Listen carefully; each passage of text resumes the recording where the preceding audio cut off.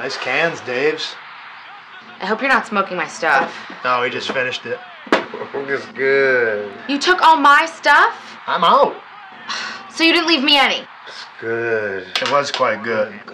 Oh my god, I hope this. It is.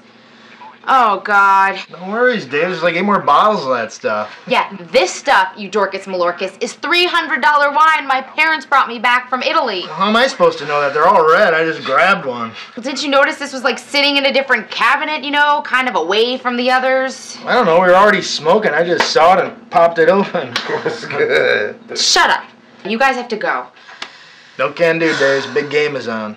I don't care. You guys have to go. I have a guy coming over.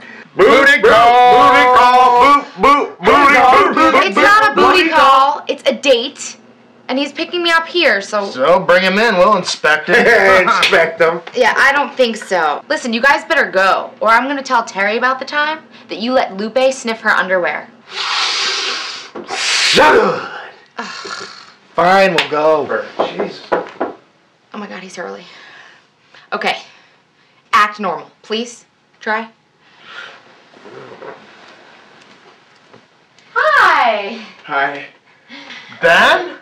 Hey. Fred! And Lupe! What's up, dude? So, you guys know each other. Oh, yeah! We used to jam back in the day. Yup. We should get the band back together. I'm in. You know I'm in, bro. Oh, but Ben, we have that date, so we should. Yeah. Bros before hoes. Unless you're talking about getting laid.